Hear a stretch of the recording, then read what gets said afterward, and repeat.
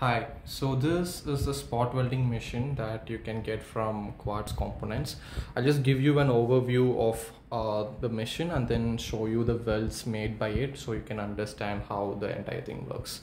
So first thing, the machine is powered directly from a 16 amps AC outlet. It is a high current machine, so make sure that your socket is capable of 16 amps. And then on the back side, you have the fuse holder just in case if you want to change the fuse. The machine also comes with uh, extra uh, spot welding bits which is attached over here. And then on the front side we have the main on off button. Uh, then you have an option to change the weld time some extra fuse just in case you need it. And then this LED turns on when the weld actually happens. So these two things are used to adjust the intensity of your weld. This determines how long your weld should take place.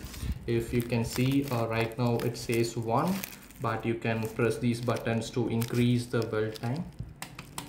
So I have set it to 9 or you can decrease it. So i'm setting it to one and it works fine with one. So i believe that this time indicates the uh, millisecond that the weld happens. So one is for one millisecond nine is for nine millisecond. Likewise and then here the heat control actually determines the intensity of the weld if you set it to maximum uh, high current flows. If you set it to minimum minimum amount of current flows. So based on the thickness of your nickel strip you might want to either increase it or decrease it and then this button over here is for uh, welding whenever the weld is happening. This button turns on. I just show you a quick demonstration.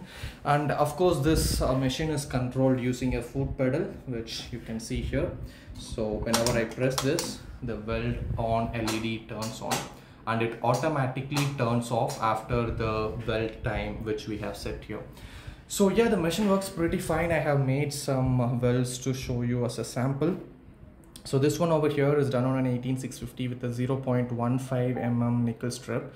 As you can see the quality of the weld is really good.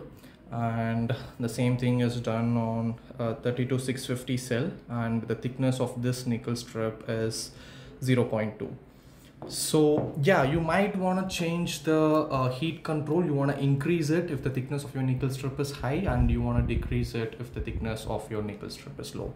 So uh, let me just show you a weld on this thing. I'll just show you how it is done and you can have a quick look.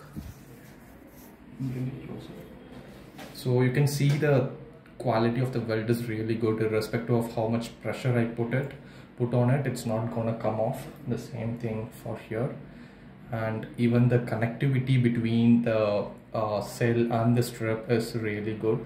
So let me just show you another weld. So I just have to keep the needles in place and then press the foot pedal. And that is it. The weld is already done you can see the weld up close over here. So this weld is light. You can increase the heat control if you want to uh, increase the intensity of the weld. Now let me just weld it to this one over here. So i'm not having a proper setup. I'm just showing you how the thing works. But yeah you can use a proper cell holder and stuff while you're making your battery pack so that it's much more easier for you to do. So as you can see another weld one more quickly. Another. And also do one more.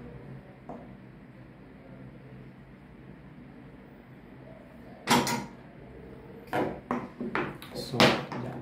These are few more welds and as you can see the weld quality is really good. Again I can increase the heat control over here. Let me just set it to 8 to show you how the intensity of the weld changes so let me go ahead and make one more weld. The probes here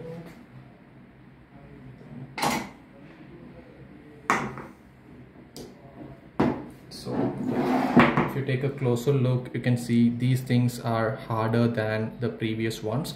So if you want your weld to be much more stronger you can use the heat control button over here.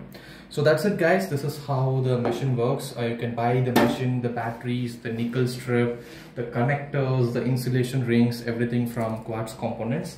If you have any questions you can contact us on this number over here or you can head over to our website and contact us over there. Thank you. Have a nice day. Bye bye